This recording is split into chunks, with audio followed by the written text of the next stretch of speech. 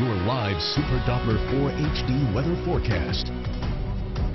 Hi there. We've got a big system marching across the country. Today we're going to see light to moderate rain. Tonight we're going to see heavy rain from the system. We could get a quarter to half an inch of rain expected today. Typical temperatures reaching 63 for the upstate. The mountains will climb into the upper 50s. Then the heavy rain comes in overnight. Flash flood watches are in effect for most of the area through Thursday morning with heavy rain expected one to two plus inches. Some areas in the mountains could see as much as four inches of rain, which could lead to localized flooding.